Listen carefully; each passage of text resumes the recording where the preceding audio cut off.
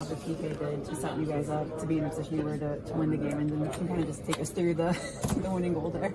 Yeah, I know the PK tonight was was outstanding. Obviously, uh, they're they're pretty dangerous out there. They have so many skilled player with great shots. So um, Casey and the PK were, were great, and they gave us a chance to win tonight. Okay, Uh, coming out of the All Star break, what were the big points of emphasis that Coach Sullivan asked of you guys, and where did you hit, where did you miss on those tonight? You know, cleaning up, uh, pay attention to details, and play a 60 minute game. Sometimes you won't have uh, your A game, um, whether it's execution or, or stuff like that, but you have to rely on your system and and be um, you know focused to to accomplish those little details. And, um, that always going to give your your team a, a chance to win. How much of those, well, I guess it was 63 minutes roughly or whatever, 64, how much of that was a game?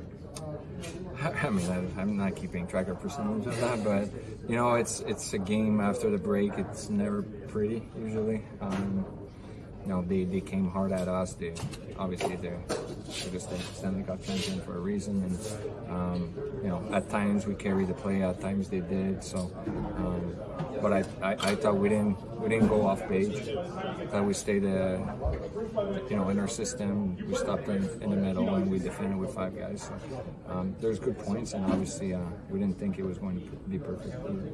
Chris Sullivan, uh, Mike Sullivan talks with us a lot about sometimes trying to generate offense by just getting the puck to the net. Don't make the extra pass. Shoot it on goal, break the defense down, go take advantage of the scramble. It looked like you guys were really playing that way in the latter half of the third period. Was that mentally by design, or did it just kind of work out that way?